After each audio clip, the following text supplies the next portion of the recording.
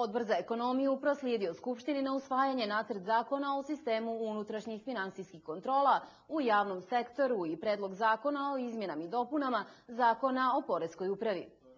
Predviđenim dopunama zakona o sistemu unutrašnjih finansijskih kontrola u javnom sektoru od obaveze dostavljanja godišnjeg izvještaja o unutrašnjoj reviziji trebalo bi da budu izuzete Skupština, Ustavni sud, sudski organi, državna tužilaštva i druga pravna lica u kojima država ima većinski udio. Ministarstvo financija zadovoljno je dosadašnjom primjenom zakona koji je na snazi od 2008. godine. Do sada je od saglasno podzakonskim aktima koje smo donijeli unutrašnje revizije 20 korisnika budžeta formiralo jedinice za unutrašnju reviziju, da se je počelo raspoređivanje unutrašnjih revizora tim jedinicama. Imamo oko 12 revizora, u toku je i dalje raspoređivanje postavljene.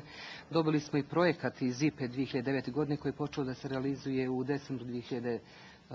godine, tako da sad krećemo sa obukom ovaj, unutrašnjih revizora, ipak je to postupak u, toku, to je ipak jedan tranzicijni period kako bi se ljudi obučili i počeli kvalitetno da rade te poslove. Prema izmijenjenom zakonu o poreskoj administraciji predviđeno je da se u skladu sa međunarodnom praksom i preporukama Svjetske banke preduzeća u buduće registruju u poreskoj upravi, čime se cijelokupan postupak objedinjava na jedno mjesto i uspostavlja takozvani jednošalterski pristup.